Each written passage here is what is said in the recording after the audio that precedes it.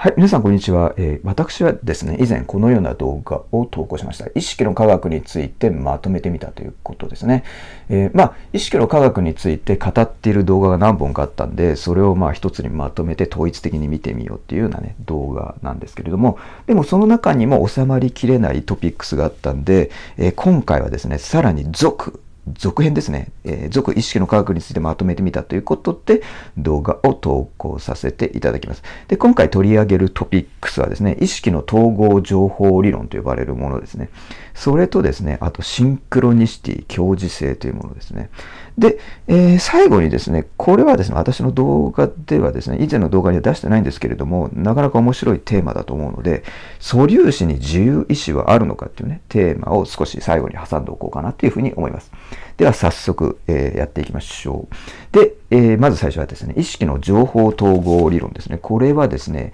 えー、意識の謎は言論を使って解明できるのかっていうタイトルでこの意識の統合情報理論について触れました。ただね、その時はですね、えー、このね、意識の統合情報理論触れたんですけども、意識の情報統合理論っていうふうに紹介してしまったんですね。えー、大変申し訳ありません。だからここが逆転して 間違った、名称で伝えてしまったんですね。正式には意識の統合情報理論です。で、これをですね、初めて、えー、意識したのはですね、えー、まあその前からね、この名前は、あの、えー、聞いてはいたんですけれども、こちらの数学セミナーですね、数学セミナーで定,、えー、定談、えー、数理と意識研究が交わる最先端っていう、えー、定談記事が載っていたんですけども、まあ、こちらなんですけども、これで驚いたことが一つありましてですね、えー、昨年の2023年の4月にですね、オックスフォード大学でですね、意識の科学のための言論っていうね、シンポジウムというか、研究集会、研究集会ですね、えー、が行われていたと。つまり、言論っていうね、数学の分野がですね、意識の研究に使われていたと。しかも研究集会が行われていた。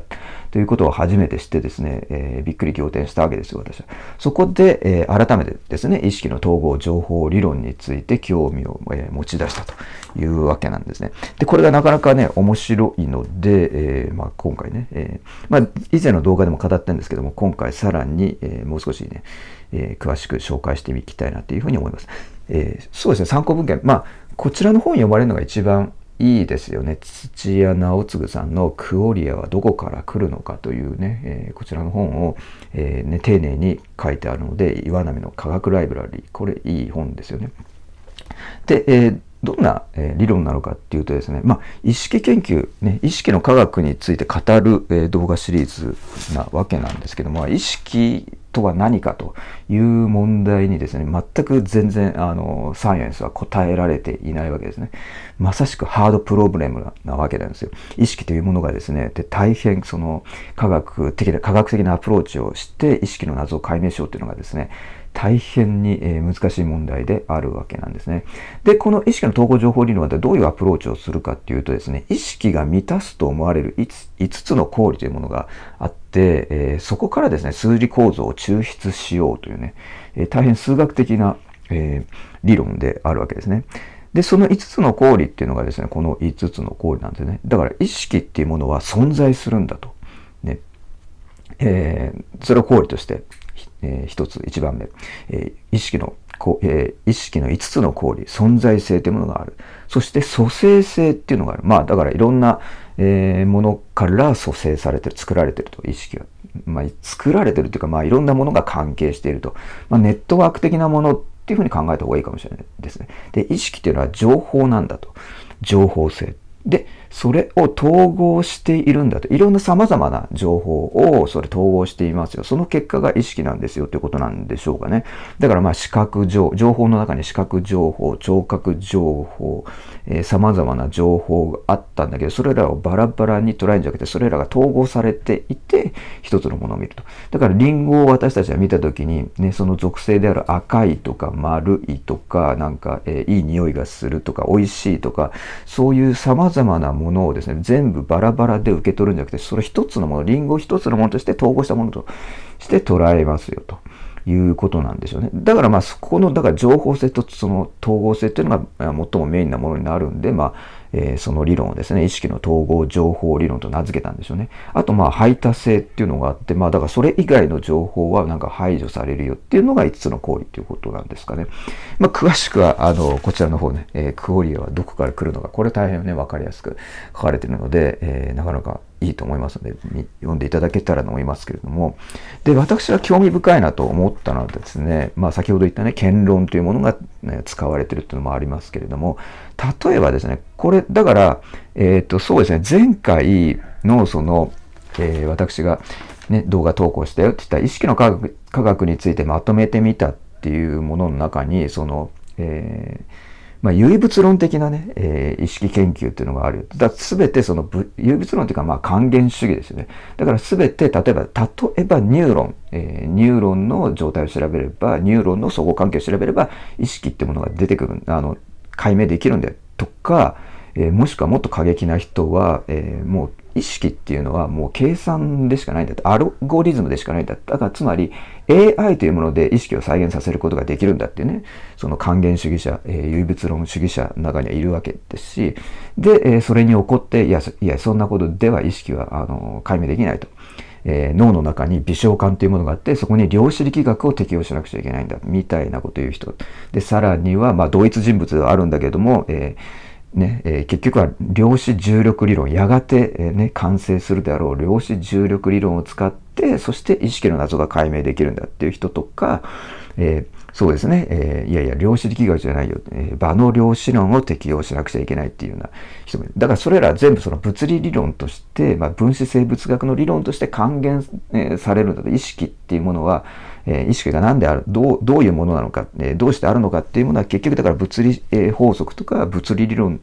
などによって、えー、解明されるんだっていう人たちがいるわけですね。で、その人たちの主張っていうのは、例えば先ほど、先ほど言ったように、まあ、例えばロジャー・ペンローズって人にね、が一番、えー、そのシンボリックな人なんで、その人の例で言うと、微小感っていうね、脳の、えー、ところにですね、そこに、えー、量子力学を適用するんだっていうことで、例えば量子力学を適用しよう、場の量子論を適用しようっていう人は、脳の構造の中に、その、えー、脳の構造というか、まあ、まあ、脳の構造、脳の、えー、部位、もしくは脳の部位の働きに、その、えー、量子力学を適用しようっていうんですけれども、こちらの意識の統合情報理論の考え方は、まずこういう公理を設定し、そして、まあ、様々なね、えー、なんか実験とかその、えー、ニューロンのね、ことはもちろん調べて、そういうもの、そういう実験結果とかもフィードバックするわけなんですけれども、えー、直接脳に量子力学をあの適用するんじゃなくて、例えば質問順序効果っていうのがあると。これはなかなか面白くて、質問順序効果っていうのは、例えばその、えー、アメリカの大統領選においてクリントンを支持しますか、えー、ゴアを支持しますかっていう時に、クリントンを先に支持して、あ、さごめんなさい、クリントンの支持を先に聞いて、ゴアの先、あゴアの支持をさあの後に聞いた場合と、ゴアの支持を先に聞いて、ゴアを支持するかどうか先に聞いて、クリントンを支持するかとのことを後に聞いた場合では、その統計結果があの違うことになるみたいな。質問の順序っていうのが実は、あの、非可感性があるよということがなんかあるらしいんですね。その、えー、いろいろその、あの、統計的なデータ取ると、えー、質問っていうのは順、順番が関係なんだ。そういうような脳の構造とは関係ないとこから、その非可感性みたいなところを引っ張り出してきて、そこに、その量子力学と同様な構造が導かれるねと。いうことで、それはだから、いわゆる還元主義者、その唯物論者とはまたちょっと違うアプローチをしているところが非常にですね、えー、面白いなっていうふうに私なんか思ったわけですね。で、そうですね、えー、中でも一番面白いのはですね、えー、だから統合情報理論なんですよ。だから、えー、ね、意識というものは様々な情報というものを統合しているということなんですけども、その情報をただ単にね、いっぱい集まってきてるんじゃなくてですね、統合することで意識になるよっていうことで、えー、実はその意識になるにはどれぐらいの、えー、ね、何かある数値があって、その数値がたと、例えば、詳細わかんないですけど、その数値が例えば1000を超えたら、あの、意識になる。みたいなことを目指してるらしいんですよね。この、えー、究極的には。だから意識の統合情報理論。え、それをですね、この、えー、プサイというね、え、もので表す、これこれを情報統合量って理由らしいんですけども、え、情報がありそのその情報の統合具合というものが実は数値化させたいと。それを情報統合量といって、ちゃんときちんと、だから、例えば、あの、全くわかんないですけど、今適当なこと言いますけど、例えば、その情報統合量というものが1000だとしたらば、例えば、900のものはあと一歩で、えー、意識状態になるけれども、えー、まだ意識になってないとか、まあ、300とかだったら全然その情報はたくさんあるけど統合されてないから意識にはねまだまだ遠いよと。だから1000を超えた場合にこれこのもの、えー、この物体なんか何なのかわかんないですけどもそのものはだから、え意識と呼ばれるものがあのちゃんと生じているよっていうことをちゃんとその数値的にその、え判断するようなものを、えそのような関数みたいなものを、えーまあ、目指してるというか今と、あの、作り上げてる途上らしいんですよね。これすごいですよね。なかなか面白いですよね。だから、これがもし、だから本当に、それ、その理論によって、あ、えー、1000超えました、えー、意識になりましたっていうことであれば、まさしく意識の謎が、え、少なくともだから意識というのはどういうふうに、え、生じるかっていうことが解明されたっていうことになるので、ま、ね、全くもって革新的な、え、アイデアだというふうに私は思うわけですね。で、え、そうですね。だから先ほどで言うとですね、もえ、そもそものこの、だから、意識の統合情報理論の、え、私は興味を持ってた発端というのはこの数学セミナーの先ほどの記事ですよね。言論というものが意識と関係しているよってことがもうすでにもうシンポジウムとして、えー、ケンブリッジ大学で行われていて。だから言論というもの、えー、言論というね、数学の分野があるんですけども、まあ、ここに、まあ、剣論の方持ってきましたけども、まあ、ベーシック剣論、まあ、買ってはいるんですが、まだ全然読んでないので、な、あのね、この剣論の内容について私は何も言えないんですけども、この剣論、特に米田の補題と呼ばれるものがですね、あってですね、それによってですね、その意識問題の、えー、一番の中核をなすクオリア、ね、赤の赤らしさとか、青の青らしさとか、えー、まあ、リンゴの味とか匂いとか、そういう感覚というものを私たち人間はね、えー、意識体験とともに持ってるわけですけど、そのクオリアがなぜ生じるのかっていうのが一番その意識研究において最大の難問の一つなんですけども、そのクオリア問題が、えー、実は言論の米田の補題というものを用いることで解明できるんじゃないか、みたいなこともね、えー、こちら数学セミナーの記事で言っていましたけどね、それもまたびっくり仰天っていうわけですね。で、まあ、剣論ってどういう数学の分野なのか、私もさっき知らないって言ったんですけども、知らない理由もよくわかんないって言ったんですけども、まあ、剣論自体はですね、まあ、まあ、私が学生時代、もう今が30年、えー、ぐらい前からですね、30年以上前からですね、もう剣論という言葉があって、まあ、存在自体は知っていたわけですけども、要はなんか、要はですね、数学の構造と構造のなんかネットワークを考えていくみたいな、え、ちょっと大雑把すぎて、え、それが合ってるかどうか、合ってるかどうかっていうのは、まあ、合ってはないんですけども、どこまで、その、あの、正しく言えるかどうかわかんないですけども、まあ、なんとなくネットワーク的なものだというイメージで捉えていただけたらいいかなというふうに思いますね。で、えー、そうですね。だから長らく、その、数学において最も基礎的な、え、ものは集合論と呼ばれるものなんですけども、これもまあ、あえて、えー、ちょっと、えー、わかりやすい例で言うとですね、例えば虎。虎が、野生の虎をですね、えー、調べたいと思った時に、その虎をひっ捕まえて、えー、腹をバッとかっさばいて、内臓とか、えー、そういうもの、え筋肉とかを調べるっていうのが、いわゆる集合論的な、えね、探求の仕方だと。で、えー、それと全く違って、言論っていうのはですね、その集合論みたいに、そのなんか解剖するみたいなもんじゃなくてですね、虎をけ、えー、研究したいと思ったら、虎の生態をですね、自然の動く、自然、自然界を動く、様を見て、えー、研究すると。えー、つまりその虎はどういうところに行って餌を食べていって、どういう、えー、虎関係、虎同士の、えー、仲間関係を持っているのかとか、えー、虎はどんな、えー、ね、えところで、寝てるのか、ね、え山奥の、え木が茂るところに寝てるとか、そういう全体との関係性からその虎の、えー、ね、生態を読み解く。それが剣論的な考え方。大雑把に言うと、らしいんですけども、そういう剣論っていうのがですね、まあ最近、まあブームというかですね、その集合論にとって変わるんじゃないか、みたいなことをずっとね、ここ最近言われ続けてる。だから最もだから、あの、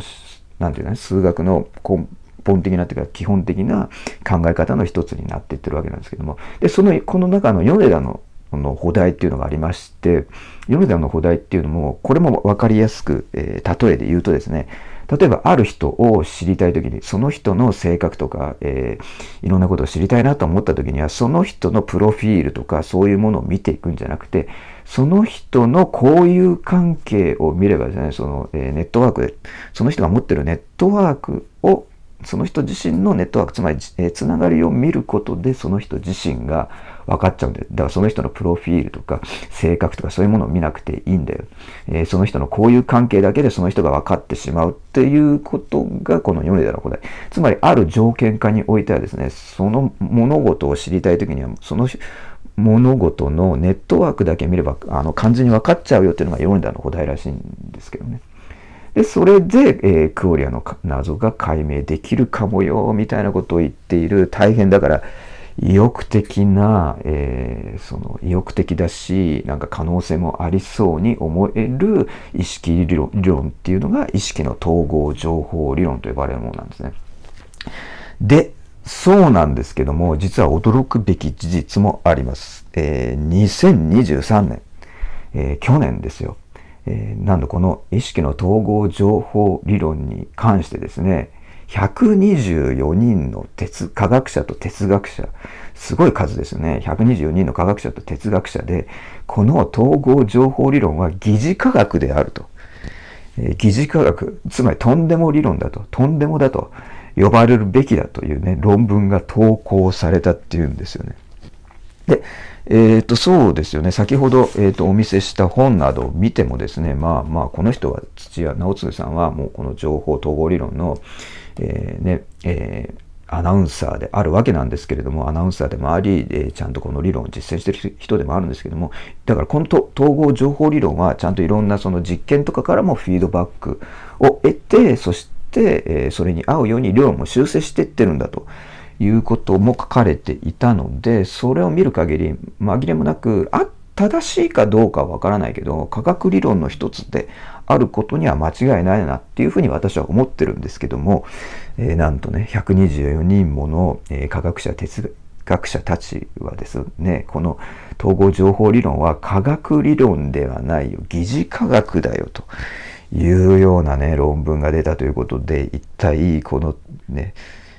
統合情報理論、間違ってるって言ってるわけじゃないんですよね。間違,、まあ、間違ってる以前の問題で科学じゃないって言ってるんだから、結構深刻な、えー、ことを言ってるわけですよね。深刻な問題になってるわけですよね。ね、果たしてこの統合情報理論というものは、そのね、意識研究の要、えー、中心になっていくのか、それともこの科学者や哲学者たちが言ってるように、主張してるようにですね、えー、ね、えー、疑似科学、とんでも理論なのか、ね、ちょっとこれ、えー、両方の意味で、えー、目が離せない理論なので、えー、またね、え自分のね、え知見とかもね、この統合情報理論に関する知見が溜まってきたらですね、えこちらのことについて、え動画も出してみたいなというふうに思いますね。で、まあ気になるのはどういう意味で、え疑似科学と言ってるのかっていうのが今のところ私はわからないので、ここをちょっとね、どういう理由で疑似科学、ね、とんでもだって言われてるっていうだけじゃ、やっぱりその、えー、ね、信憑性もないし自分も納得できないので、どういう、えー、事柄が疑似科学になってしまうのかっていうことを明らかにして、またね、動画投稿したいなというふうに思っておりますね。はい。というわけで、まあ、一つ目のトピックス、えー、意識の統合情報理論ですね。えー、2番目はですね、シンクロニシティ、ね、教授性、ユングがですね、えー、提唱した理論ですね、え、意味のある偶然の一致ということなんですけれども、えー、まあこれもね、何回も私の動画で言ったんで、えー、まあ使い古された例ではあるんですけども、このね、えー、だから意味のある偶然の一致っていうものがあるよ。まあそれはあるでしょう。で、その意味のある偶然の一致っていうのが実は本当に偶然じゃなくてですね、え、そうですね、え、無意識がですね、宇宙に作用、まあ、えー、世界ですね、世界、えー、宇宙に作用した結果、えー、まあ、え、意味のある偶然の一致に思えることが実は意味のある偶然じゃないんだよ。偶然じゃないようなとんでもないことが起きるよっていうのが、まあ、シンクロニシティですね。まあ、そのユングの例を述べるとですね、え、まあ、ユング、あの、精神、えー、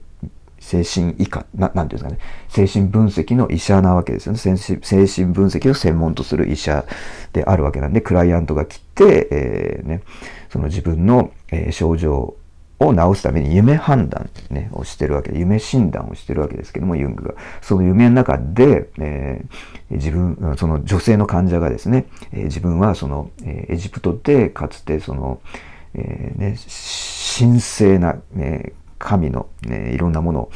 を感じさせるような、えー、虫、えー、コガネムシ、え、スカラベって言うんですけど、それの絵が描かれた五符、お守りをもらったという夢を見たという話をしていた時に、え、ね、窓を叩く音がしたんで、その窓を見たら、その神聖甲虫スカラベと同じ、え、形をしたコガネムシが、えー、そのね、今、ユングがクライアントに、えー、その夢、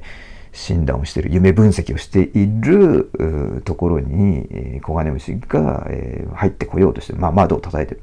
で、ユングはその窓を開けてコガネムシを手に取って、ね、あなたがね、え、今見たとおっしゃっている神聖コーチのスカラベはこれですねって言って、その、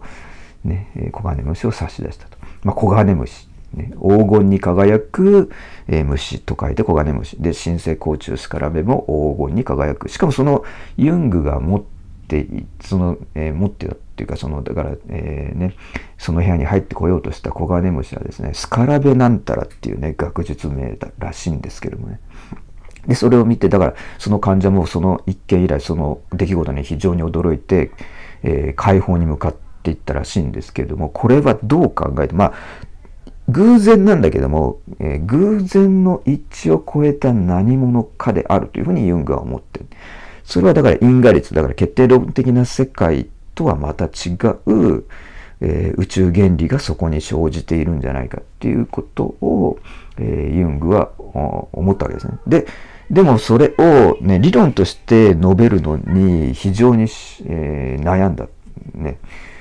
これ何言ってんだって言われるだろうし、そのことを理論的に、えー、まとめて、まとめる手立てもなんか思いつかなかったっていうことで、長らくこのシンクロニシティっていうのはその意識、えー、ね、意識研究の中でユングはだから常に気にはしていたし、絶えず、まあ、先ほどの例以外にもですね、シンクロニシティ的なことが絶えずユングを襲ってきたんで、で、いよいよこれだからシンクロニシティというものを発表し、世に問わなくちゃいけないということで、えー、このね、シンクロニシティ、日本語で教授性と呼ばれる現象を発表したというわけですよね。ただこれはですね、サイエンスではないですね。このえー、まあ、だから無意識というものがあるわけですけど、まあ、無意識はあるっていうのは、これはまあ事実としてあのあることはあるんだろうけども、その意識と無意識の関係、例えば意識が氷山の、例えば水の上に上がっている、えー、一部であり、無意識がその氷山、あのごめんなさい、海中の中に沈んでいる大部分の、えー、占める、うん、領域であるというようなこともよく言われるんですけども、これも別に、えーと、サイエンスとして検証されたわけじゃなくて、例えとして言われるわけであって、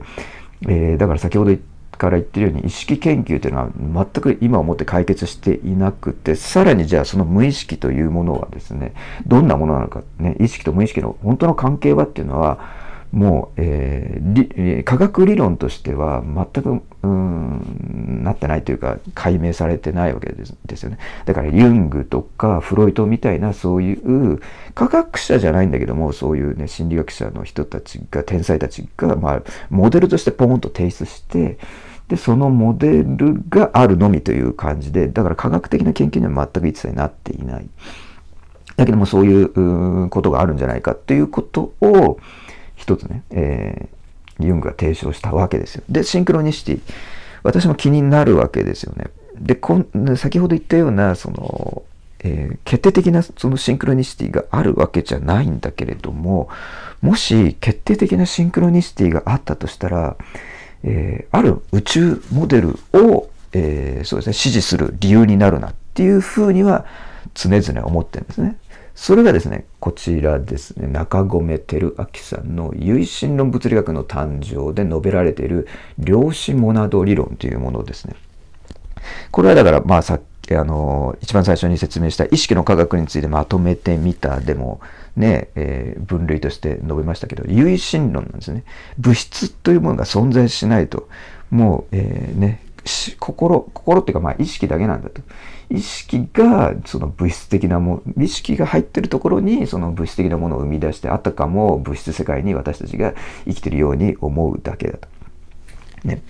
で、だから私たちの世界っていうものはですね、まあ、えー、意識というものがあって、そして、えー、私たちの世界はただモニターを見て、そのモニターの映像が、その私たちが経験する物質世界を反映しているに過ぎないと言ってるわけなんですけども、で、例えばこのシンクロニシティね、えー、ね、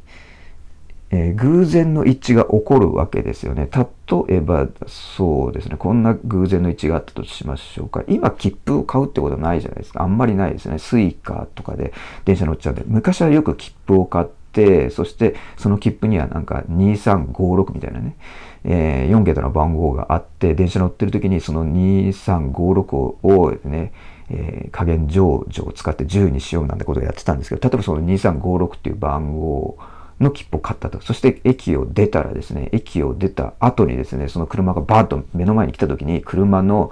ナンバーが2356だったと。これは、えー、偶然の一致ですね。まあ意味あるかどうかはちょっと置いといて、これ偶然の一致なんですけれども、えー、こんなことを、あのー、ね、えまさしく偶然の一致としか言いようがないんだけども、でも不思議ですよね。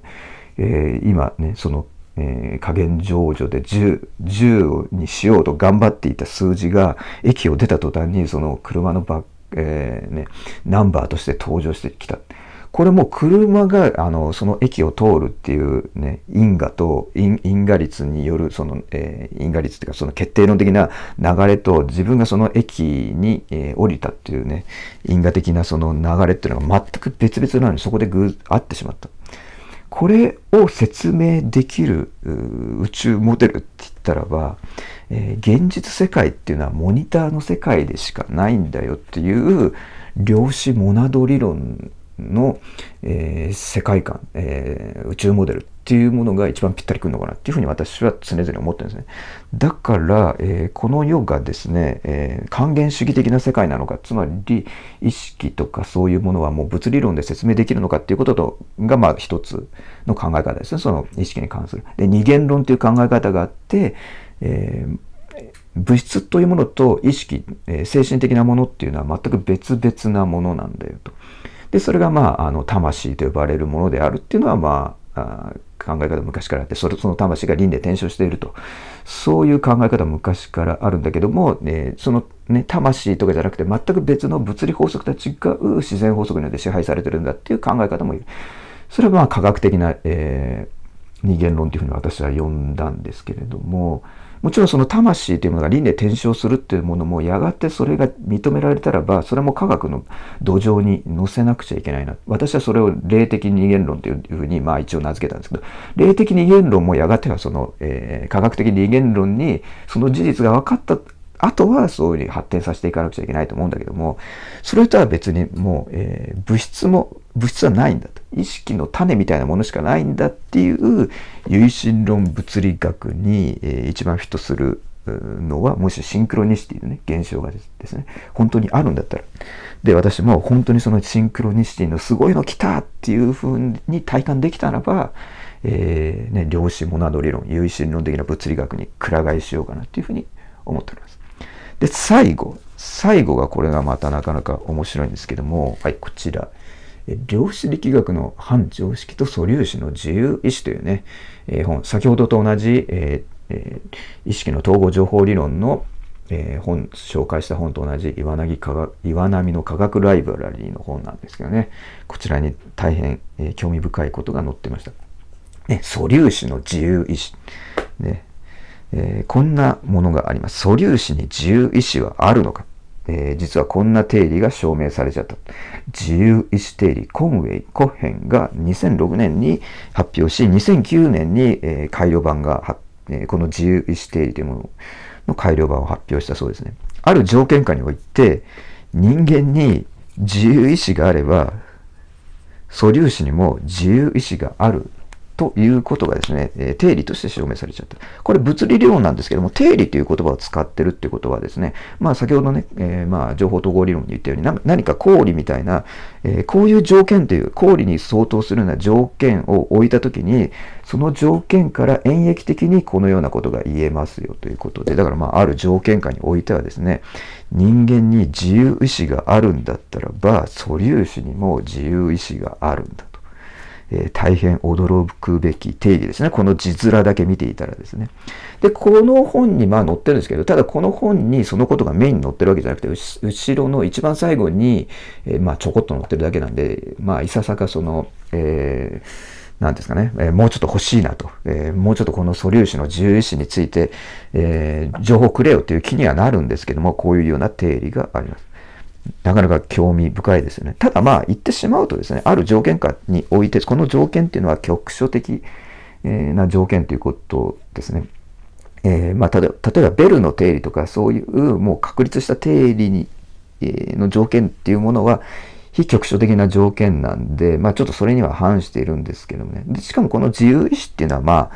なんでしょうね、えー、意識、意識とか意志っていうのが、あのー、まだ解明されていない以上、そんな深い意味があるわけじゃなくて、まあ、ある種のランダム性を言ってるだけではあるんですよね。だからなんかこういう意味ありげな名前をつけてしまうっていうのは、ある種ミスリードのような気もするんですが、でもこれもなかなか面白いですね。ある条件下において、えー、ね、そのランダム性、えー、人間がランダムに何か物事を決められるということができるのであれば素粒子自体もそういうランダム性を持ってる。人間と素粒子がまあ連関しちゃった、関連しちゃったと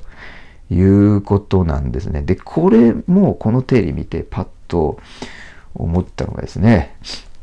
こちらですね、量子モナド理論ですね。この、えー、中込照明さんが言ってることはですね、なんとですね、えー、意識というものはですね、すべての物質にですね、意識の、え、種みたいなのが存在してるよ。もちろん素粒子にも。ということで、あら、これの定理もなんか量子モナド理論につながってきちゃった。ちなみにこの、えー、有心論物理学を支持している人は、支持していると思われるサイエンティストは、この中込照明さん、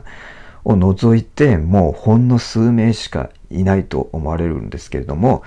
例えばシンクロニシティとかねこういう自自由意志定理っていうものを考えていった時にはですねこの量子モナド理論というものがですね、えー、ひょっとしたら脚光を浴びる時が来るのかもしれないなということでこの、え、動画を終わりにしたいというふうに思います。聞いていただきましてありがとうございました。